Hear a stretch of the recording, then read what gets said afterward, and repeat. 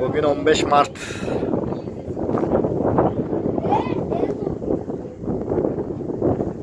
...2020.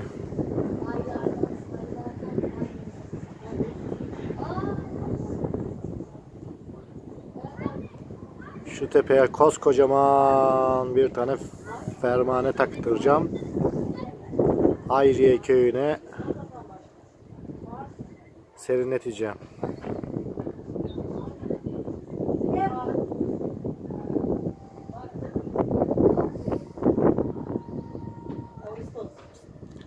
Yalova Armutlu Hayriye köyünden hoşçakalın sevgiyle kalın.